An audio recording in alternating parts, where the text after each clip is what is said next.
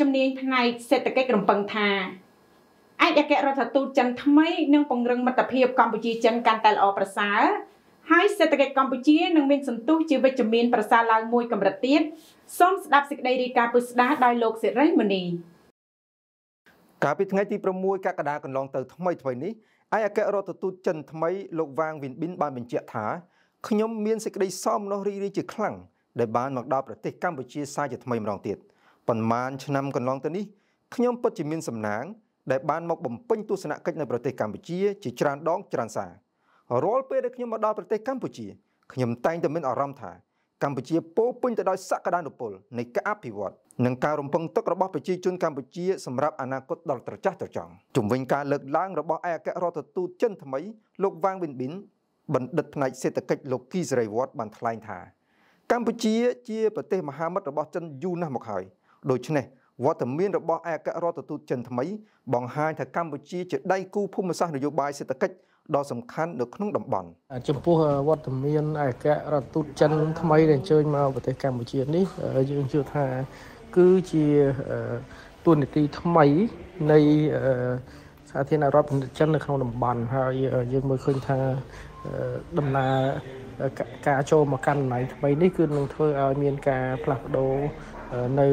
ចរន្តនៃភូមិសាស្ត្រនយោបាយដែលរួមចំណែកបង្កឲ្យមានសន្តិសុខនិងជោគវាសនារួមសម្រាប់មនុស្សជាតិរួមគ្នានៅក្នុងតំបន់ចំណុចនេះនៅតែដើរតួនាទីសំខាន់ហើយពហុភាគីនិយមក៏នៅតែដើរតួនាទីសំខាន់នៅក្នុងតំបន់ដែរលោកបណ្ឌិតរំពឹងថា សេដ្ឋកិច្ចកម្ពុជានឹងកាន់តែល្អប្រសើរឡើង នៅពេលដែលមានវត្តមានរបស់លោកវ៉ាងវិនប៊ិនបាទចំពោះវិស័យសេដ្ឋកិច្ចវិញយើងមើលឃើញថាអឺដំណើរចូលមកកាន់តំណែងថ្មីនេះអាចនឹងពិចារណាទៅលើការបើកច្រកឲ្យមានកសិផលខ្មែរនាំចេញទៅកាន់ប្រទេសចិនកាន់តែមានភាពងាយស្រួលជាងមុនជាពិសេសគឺបញ្ហាពុរគាមអនាម័យ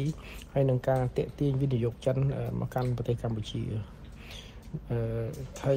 នេះគឺជាការរំពឹងទុកទេក៏ប៉ុន្តែអ្វីដែលជាក់ស្ដែងនោះវាអាស្រ័យទៅលើភាគីចិន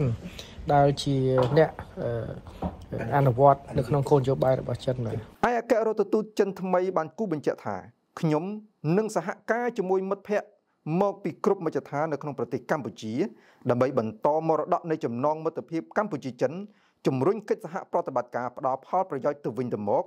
ឲ្យទទួលបាននូវសមិទ្ធផលផ្លែផ្កាកាន់តែច្រើននិងផ្ដល់ប្រយោជន៍ជូនប្រជាជននៃប្រទេសទាំងពីរសូមរំលឹកថាលោកវ៉ាងវិនប៊ិនដែលគេស្គាល់ថាជាអ្នកនយោបាយការទូតដ៏ឆ្នើមរបស់ចិន